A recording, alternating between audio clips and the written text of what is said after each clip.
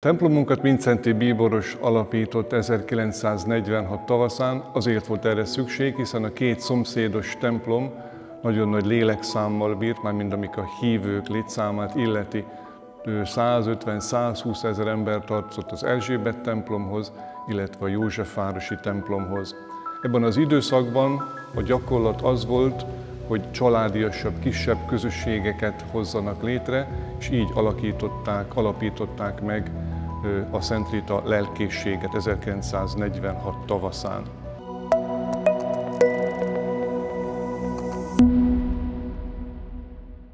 Mint Szenti Bíboros úr meg is látogatott bennünket 47. októberében, megáldotta azokat az épület részeket, melyek akkor álltak, amelyeket birtokoltunk. Nem templomnak épültek ezek a részek, hanem műhelyként dolgozott itt sok-sok ember, amiben most a felvételt felvesszük, ez gumiavító üzem volt, illetve az előtér, ami napközben látogatható, ott egy szerelő akna van.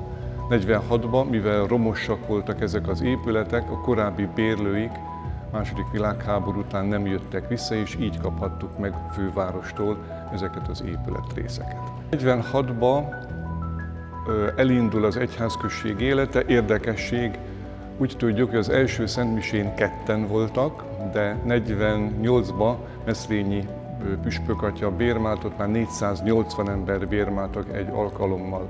Az 50-es, 60-as években nagyon sokan jönnek a templomba, különféle kérésekkel, fohászokkal, ekkor a szerzetesi közösségekből elbocsátott atyák is itt szolgáltak. Talán ez volt a látogatottságban Szent Rita templomnak a fénykora, amikor egy hétköznap 7-13 Szent volt egy hétköznapi napon. Azért, ahogy változott az idő, változtak az embereknek a vallásossága is. 90-es években már sokkal gyengébb ez a vallásosság, az 50-es évek még, még hoz egy nagyobb csökkenést.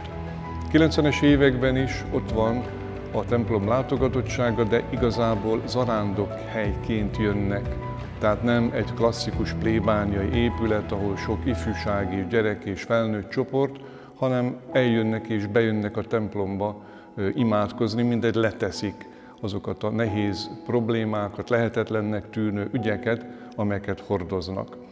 Egy-egy búcsú alkalmával 2000-4000 ember is megfordul napjainkban is. A lehetetlen helyzeteknek a védőszentje Szent Rita, hiszen ha az ő életét nézzük, Bármilyen élethelyzetben van egy hölgy, mindegyikben példaképként tud Szent Ritára tekinteni, hiszen idős szüleinek lett a gyermeke, és hozzá erőltetik egy nagyon rossz természetű férjhez, és ezt a férjet meg tudja téríteni, tehát a nehéz házasságukban is példakép lehet, illetve gyermekét elveszítő édesanyáknak is példaképe lehet, hiszen mindkét gyermekét, illetve férjét is elveszíti.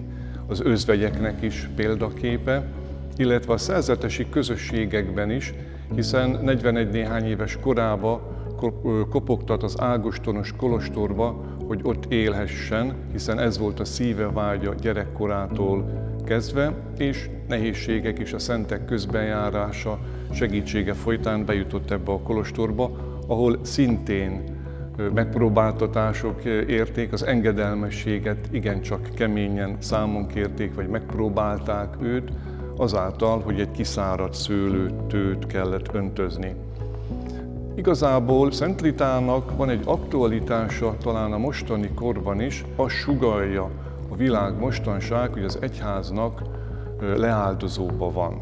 Viszont ha nézzük Szent Ritának az életét akkor, amikor ő fiatal volt, vagy szerzetes volt, hát akkor sokkal a zűrösebbek voltak az egyháznak a viszonyai, és ő az egyházon belül, egy közösségen belül akart Istennek tetsző módon élni, illetve az asszonyi, anyjai, özvegyasszonyi mi voltát is az Istennel együtt, az egyház közösségében együtt akarja megélni, ezért is volt ebben az esztendőben a lelki gyakorlatunknak, nagy kirencenünknek az egyháza témája. Ebben a korban, amikor Szent Rita élte életét, akkor nagyon sok szenvedés volt Európában, pestis járvány, egyéb betegségek, fájdalmak, és Nagyon közel volt Szent Ritához, az ő lelkéhez a szenvedő ember és a szenvedő Krisztus. Ezért egy lelki gyakorlat után bement az egyik cellába, ahol a falon egy freskó a szenvedő Krisztust ábrázolja, és kért egy stigmát, hogy azonos, azonosulhasson, osztozhasson Jézusnak a szenvedésével. Egy egész tövis koszorút a soknak tartotta, és akkor kapott egy stigmát, életének az utolsó 15 évét ezzel a stigmával viselte, ami szenvedést, fizikai szenvedést is jelentett, hiszen röngen felvétel, ami megmutatja az éppen maradt testét, ott van a csontjába behatoló seb, illetve lelki szenvedést is, hiszen kitaszították, kizárták a közösségből. Ezért is akkor, amikor Szent Ritát ábrázolják a világon, mindenhol szerzetesnek ábrázolják, tehát apáca ruhába öltöztetik, ebben kivétel Magyarország. Magyarországon asszonynak ábrázolják, ez abból is adódik, hogy a kultusza az 1950-es évekbe indul el Magyarországon, 1950-ben betiltják a szerzetes rendeket Magyarországon, tehát szerzetesnek nem ábrázolhatták.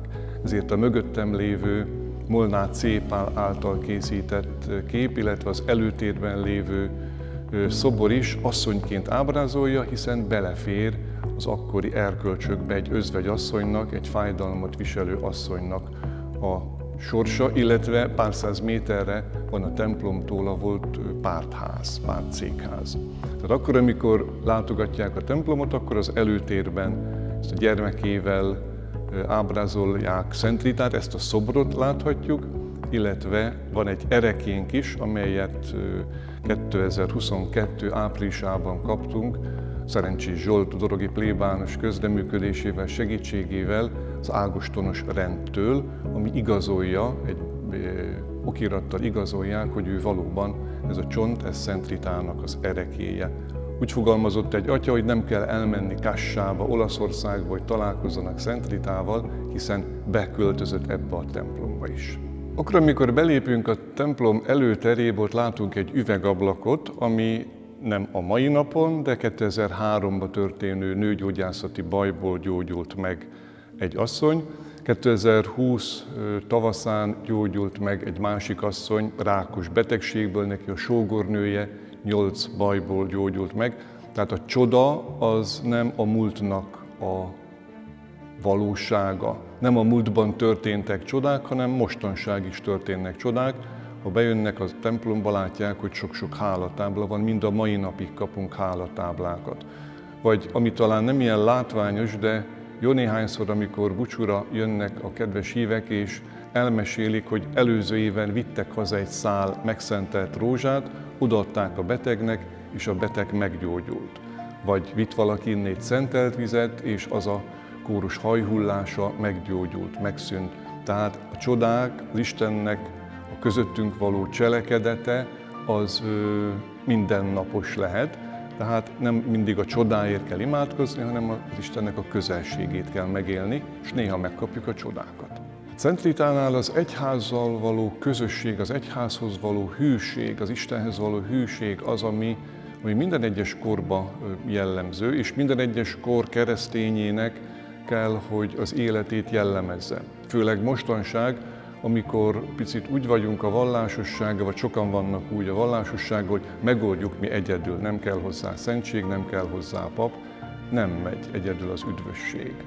Isten egy közösségbe hívott meg bennünket, az egyház közösségébe, és ezt a közösséget élte meg Szent Rita családjában is, és a szerzetesi közösségben is. Ez adja az aktualitását napjainkban.